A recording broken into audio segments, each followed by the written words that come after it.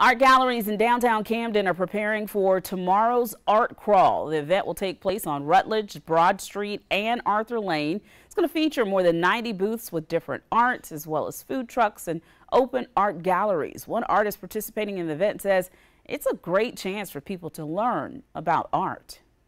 Well, as an artist, when we do our um, task of painting or creating whatever we're doing, it is uh, wonderful to be able to talk to the community and involve them to show what we've done and how we've done it because painting takes a, a, skill and a talent to do it just doesn't happen overnight and involving the community to see and be able to talk to them it makes the community realize I've met the artist and I really like their work.